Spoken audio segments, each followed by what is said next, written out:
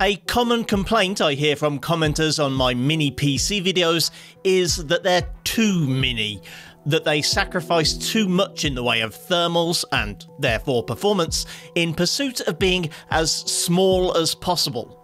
In that regard, I think Minisforum's doing it right, and their NAB 9 seems to strike the right balance. Not so big as to be disqualified from the mini PC category, but not so small as to be unable to dissipate enough heat. Of course, as it's powered by a 12th gen Intel i9, it'll have its work cut out.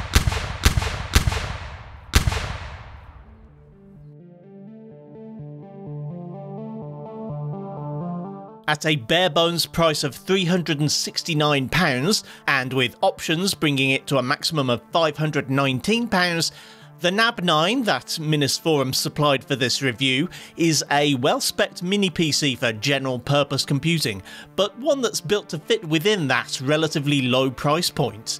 It's powered by a 12th gen Intel i9 12900H, a CPU I've tested on the channel before, quite recently in fact, Actually, it's the HK version, which is the same chip with an unlocked multiplier, but both the BIOS and XTU lack any multiplier control, so to all intents and purposes, this is basically the H version. While it's a perfectly decent performer for a chip with 6 P cores and 8 E cores, with some Iris Xe graphics that are a step up from the UHD graphics of the past, I've found that it can easily overwhelm a smaller thermal solution. What sets this mini PC apart from some of the competing units I've tested is that Minis Forum don't seem against adding a few millimeters to the chassis, if the result is going to be a better overall product. The NAB 9 is by no means husky, but it's a little thicker and with a slightly larger footprint than other recent examples, allowing for a bigger heatsink and without compromising on connectivity. The NAB 9 does a decent job here, though it's not gonna satisfy everyone.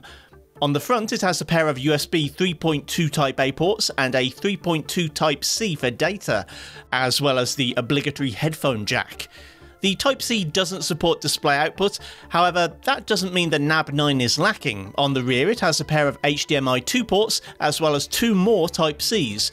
One supports display only, while the other supports data, power delivery and display.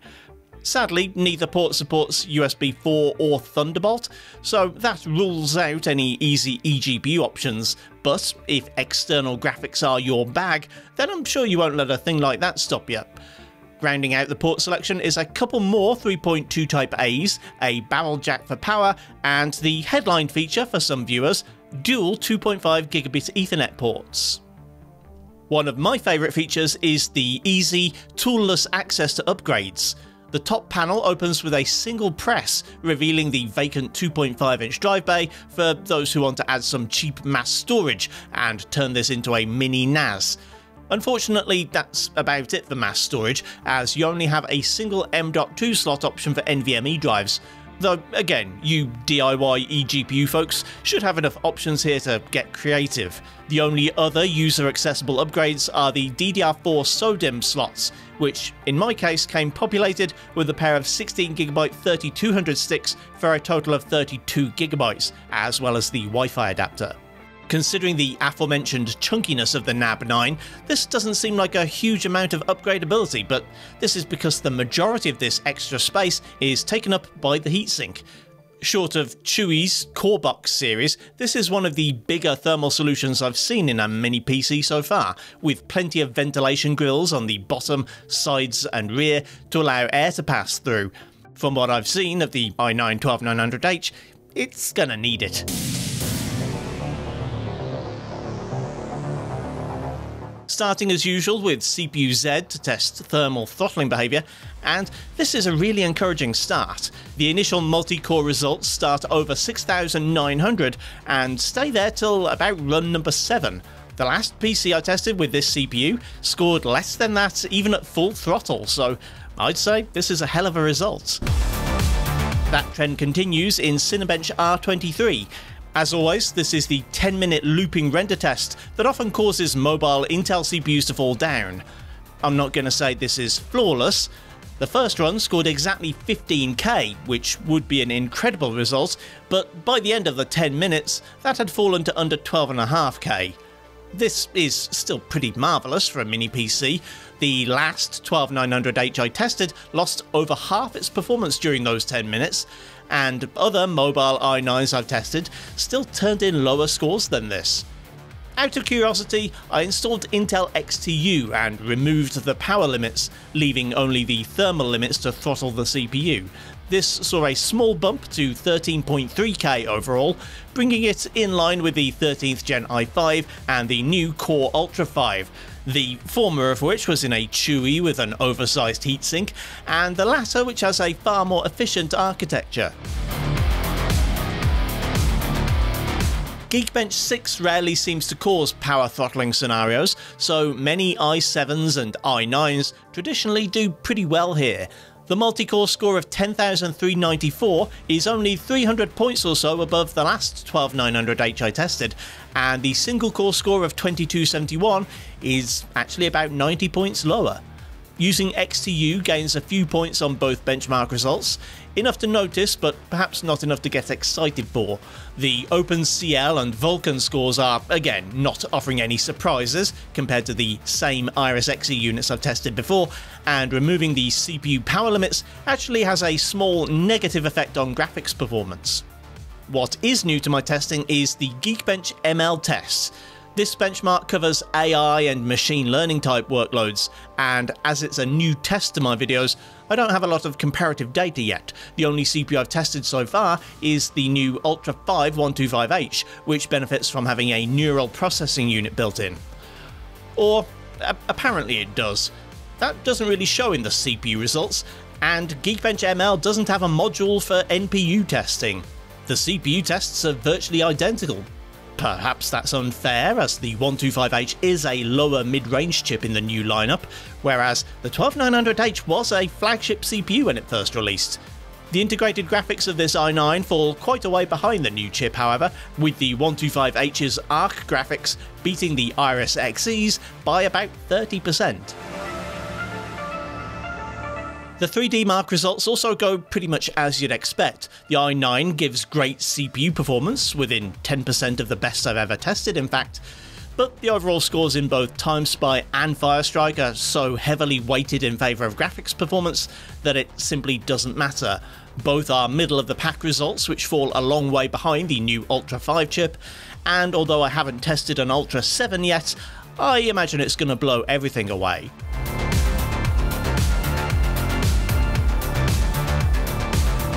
If you watched my last mini PC review, you'll know that I've redone my test criteria for DaVinci Resolve, so the test slate has been wiped clean, and the results should be a little more realistic now. As usual, I've tested in both H.264 and H.265 rendering using the free version of Resolve, which means the H.264 render is a CPU test, while H.265 stresses the GPU. The difference is I now use a fixed 30 megabit output on both renders, which makes CPU render times far more palatable, but again means I don't have a table of results to compare to. The H.264 render completed in 12 minutes 47 seconds, over 3.5 minutes slower than the new Ultra 5, but still far more realistic than some of the higher bitrate CPU renders I've seen in the past. The H265 render was still faster, and at just under 8 minutes, it's over 2.5 minutes slower than the ARC graphics in the 125H. Plus, this CPU's Iris Xe graphics don't allow for AV1 encoding, which is pretty much the nail in the coffin for me. If you want a video editing mini PC, particularly for 4K, you should get one with a newer CPU than this.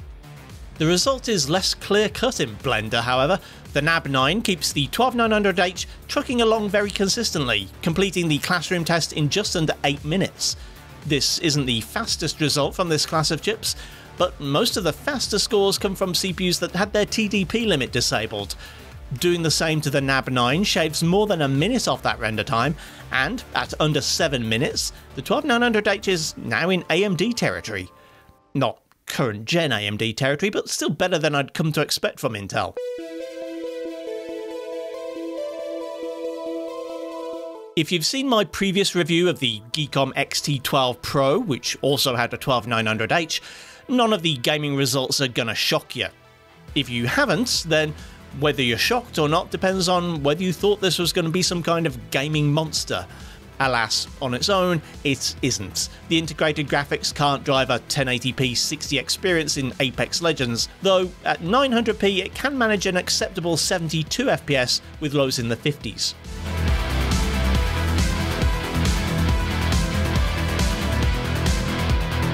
BattleBit Remastered is a real lesson for the gaming industry. Only the very weakest iGPUs fail to reach a constant 60 FPS in this graphically simple game, even at 1080p thanks to the potato quality presets. The NAB 9 can stay well above 60 FPS pretty much all the time at these settings, with an average breaking past 100.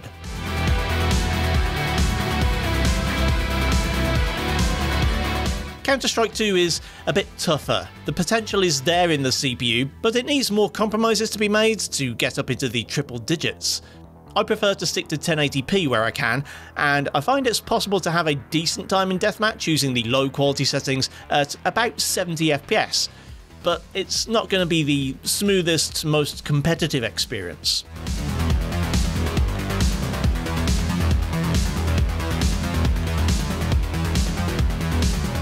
Fortnite is more of a Fort Nightmare on Intel chips, even the newest ones.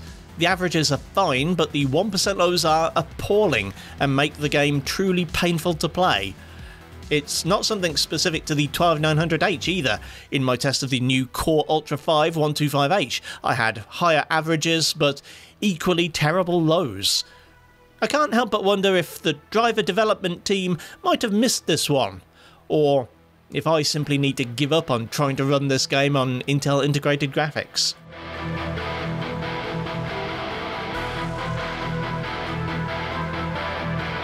Overwatch 2 isn't a bad time on the NAB 9 at all.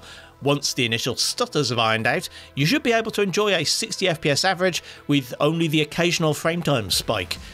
If you can tolerate some resolution scaling though, I'd suggest dropping to 75%, as that small drop in image quality can see a near 50% increase in averages and much more enjoyable frame pacing.